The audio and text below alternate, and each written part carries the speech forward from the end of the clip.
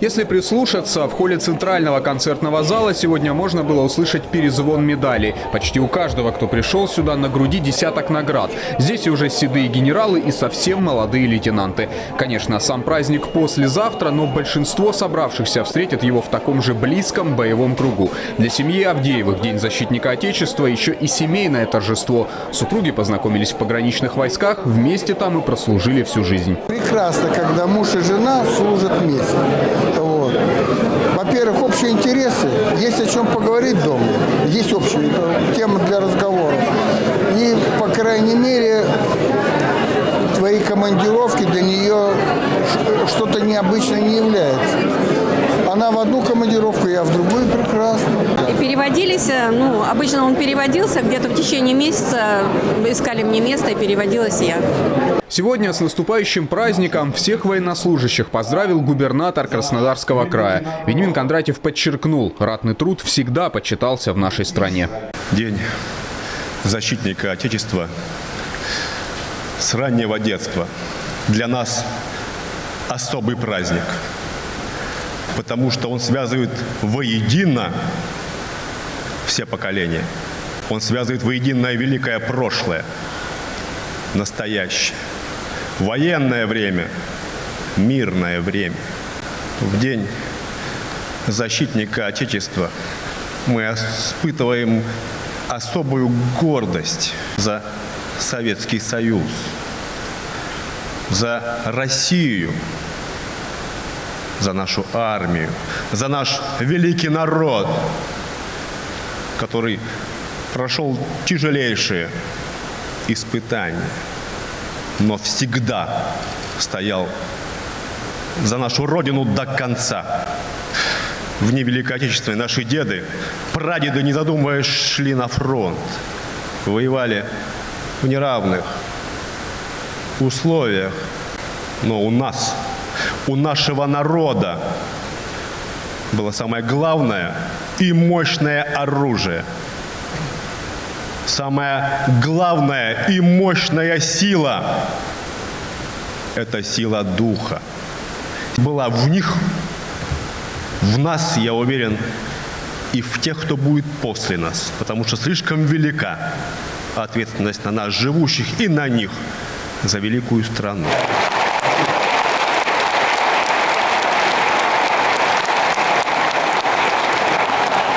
Мы гордимся стойкостью воинов-интернационалистов, мужеством наших воинов, которые прошли с честью через горячие точки и победили и терроризм международный, и экстремизм.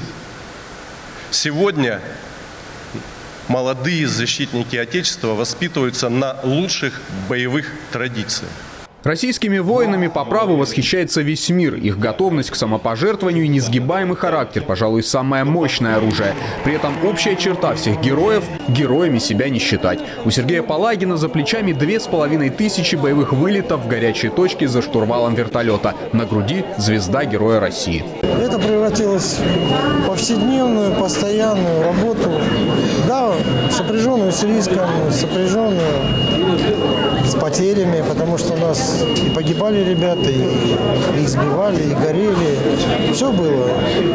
Но это была нормальная мужская боевая работа. На торжественном приеме в прямом смысле защитники Родины всех времен. Здесь и ветераны Великой Отечественной войны, и те, кто сражался в Афганистане, и те, кто несет службу прямо сейчас. Конечно, отдельные слова благодарности и нашим военным в Сирии. Они доказали, что российская армия одна из сильнейших в мире. образец воинской доблести.